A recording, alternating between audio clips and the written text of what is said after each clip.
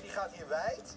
Komt dan, probeert dan terug te gaan, maar gaat vol over die curb. En let op, hij wordt gelanceerd. Ja. Gaat ondersteboven. En vooral op dat reclamebord af. Als je die raakt, die kraan daar of die brug, dan loopt het niet goed af met je. Valt ook nog op de halo, volgens mij.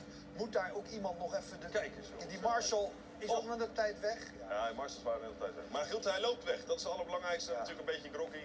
Eh Marshalls... Ja, eh, de, de hele Formule 3, de hele autosport hield ze aan toch weer even in, hè?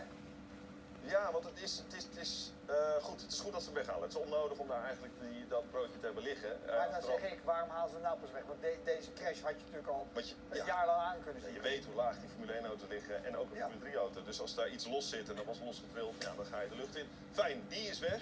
Ja. Maar het is niet de bedoeling dat je